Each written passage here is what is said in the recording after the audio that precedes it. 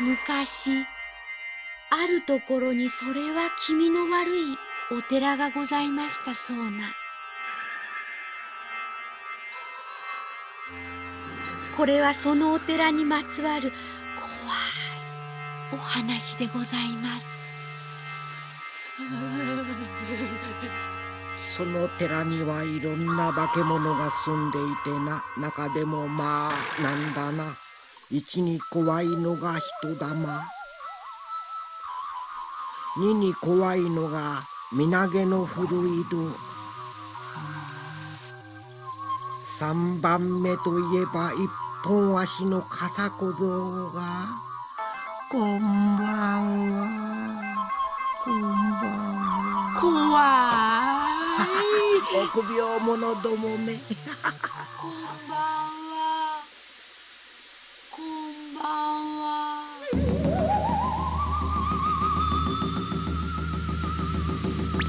こんばんは。出たいや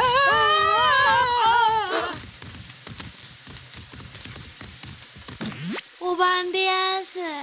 なんじゃ、の。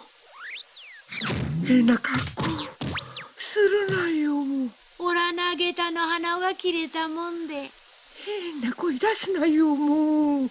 おら腹減ってるもんで。なんとも人騒がせな兵六さんでございます。みんな落ち着きを取り戻すとまた村のおじいさんの幽霊話に耳を傾けたのでございます。おらなんともねまあな、兵六はちと足らんから、波の人より感じが鈍いんじゃ。ん？だがな、これだけはお前でも怖いはずじゃよ。え。え初期、初期、初期。あんだそりゃ。あずきとぎのお化けじゃよ。あずきとぎ。うんだ。こいつは本堂に救うお化けの本尊でな。この村の者も誰一人正体を見た者がおらん。初期、初期、初期。あずきとぎましょうか。人取って食いましょうか。初期、初期、初期。声だけじゃそうな。これが一番怖い。ええ怖くねえ。おらなんともねえ。せっかくの話を兵六さんがぶち壊したものですから、仲間たちはすっかり腹を立てて、よし、それなら兵六堂に本当に度胸があるものかどうか、実際にあのお寺に行って肝試しをしようということになってしまいました。おらなんともねえ。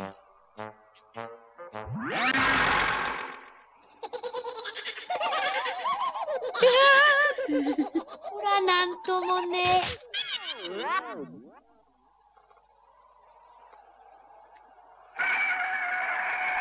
うー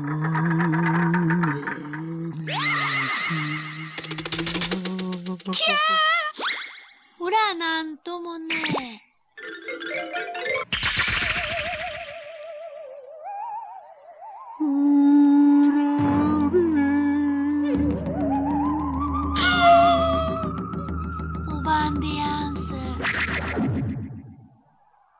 せっかく来ただで本堂までちょっくら通らしてくんろ。ああ。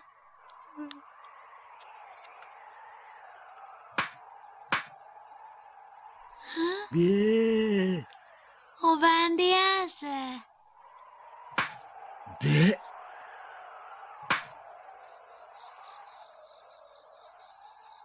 おばんでやんす。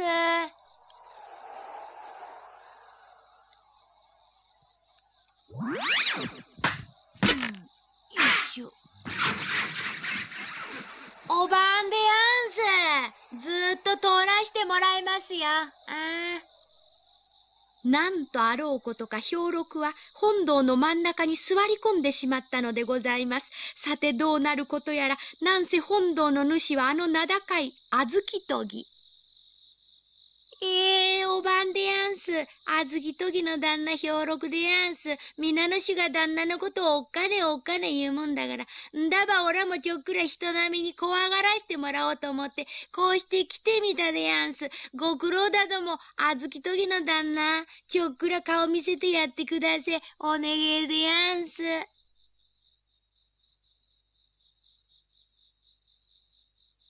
もうす旦那、怖がらしてくだせえよ。出ますね、いよいよ。え、出るでやんすね。稲妻が静まると何やら静かで陰気な物音が。これでございます。これが名高い小豆研ぎ幽霊の小豆を研ぐ音なのでございます。小豆研ぎましょうか。人を取って食いましょうか。ショキショキショキショキ。小豆研ぎましょうか。人を取って食いましょうか。ショキショキショキ。ショキショキショキ人取って食いましょうか。ショキショキショキ。他にはあずきとぎましょうか。人取って食いましょうか。ショキショキ。デアンスから他にはあずきとぎましょうか。ショキショキショキ。ショキショキ。デアンスから他には？あずきとぎましょうか？しょきしょき、人とって食いましょうか？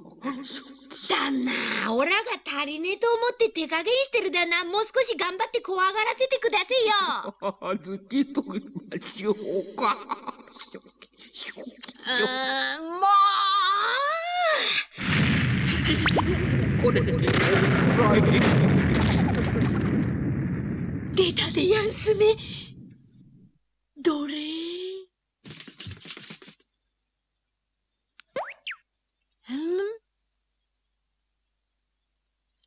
甘い。なんとそれは大きな牛のように大きな小豆のあんでできたぼたもちでございましたそうな。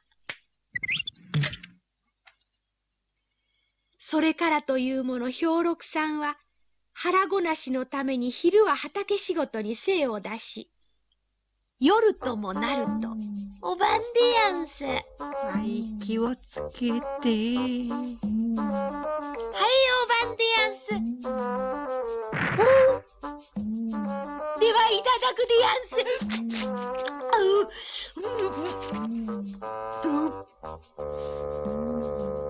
はい、おでやんす。夜ごとのことで無理もございません。落ちてくるぼたもちもだんだん小ぶりになってきて。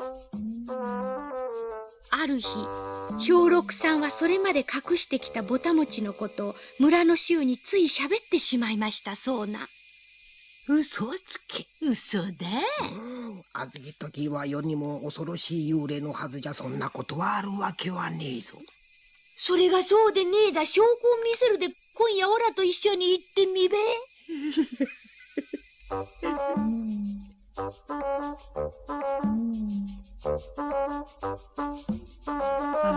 のはい、おばんでやんす。あのはい、おばんでやんす。えー、あずきとぎの旦那おばんでやんす。今夜は一つでっかい方のぼたもちをお願いしますだ。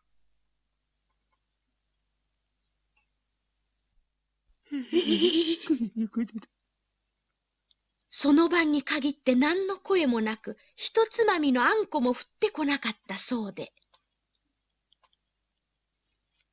旦那、今夜はオラ一人でねえですよ。お客人がお見えだ。もてなしがねえとは心外ですが、お願いです。一口でいいから。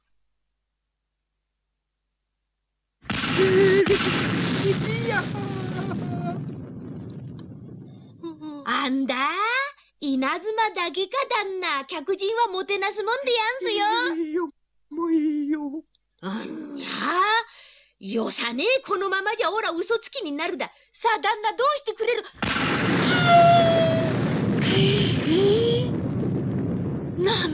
だ、これは。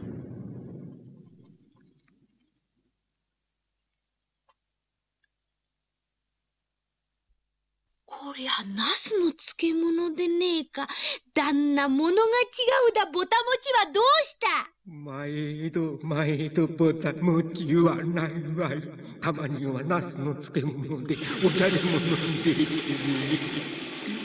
ナスが出たからこれが本当のモテナスじゃの。